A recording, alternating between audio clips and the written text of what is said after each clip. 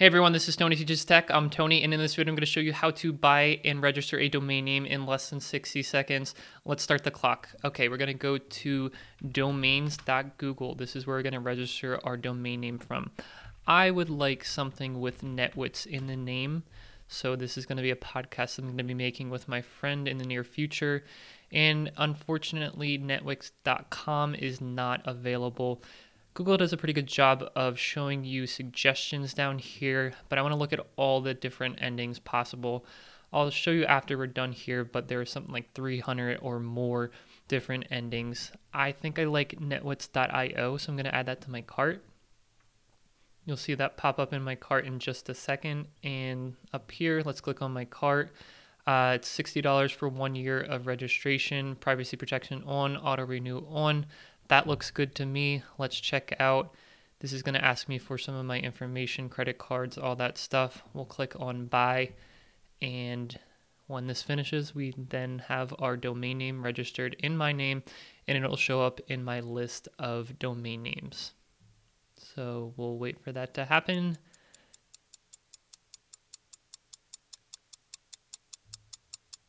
And the clock's ticking and I hope we're still under a minute.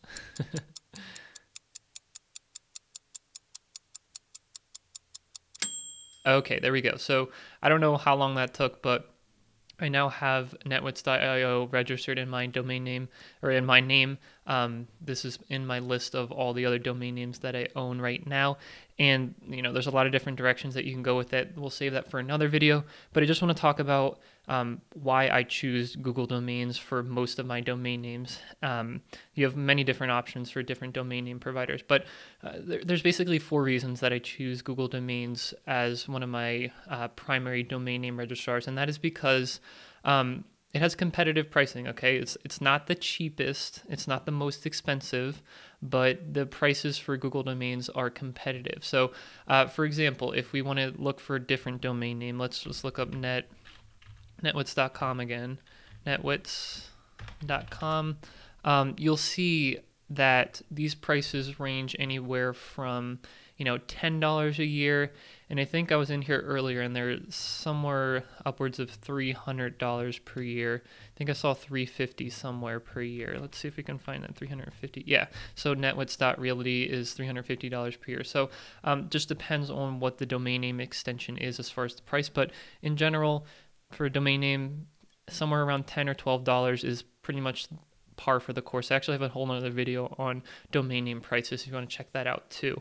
Um, the, the the other reason that I like to use um, Google domain names is because of the, the sheer number of different possible endings that are available for registration. So on Google domains alone, I, I made a spreadsheet with this. Like we'll go through here these are all the different domain name endings that you can have with Google domains. So, you know, things that you never even heard of like .cool, .dog, okay, .guru, .lawyer, and dot .pizza. So this keeps going all the way down here. There's 300 at, at the time of this recording, 332 different domain names, including dot .wtf. So those are all available for domain name registration right there on Google. Uh, dot, uh, Google domains. It's you can either go to domains.google to access the site or uh, Google dot or domains.google.com. Those are the two different ways that you can access the site.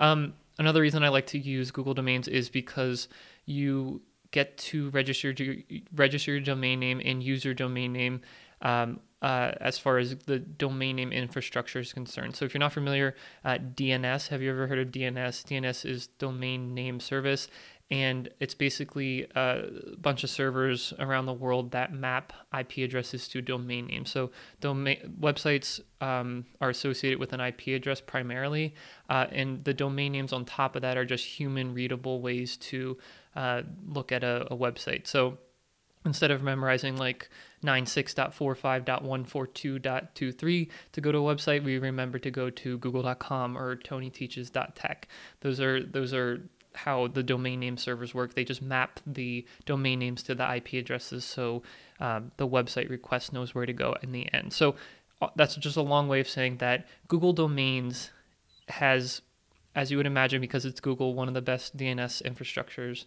available. So um, that's the third reason I like Google Domains. And the fourth reason that I like Google Domains is because it comes with uh, email alias. Um, capabilities. So what do I mean by that? Well, if we go back to my domains, and I I have a whole video on this, but if we go to netwits.io under the email section, you can create up to 100 email addresses for free that you can check within your Google inbox. So, for example, like like it says up here, you at netwits.io. I can make one Tony at netwits.io. I can make hello at netwits.io. Um, if you want to learn how to do that, I'll point you to this video here. But otherwise, thank you guys for watching this video. I hope you found some value out of it. Subscribe for more like this from me in the future. And if you do, I'll see you in the next one.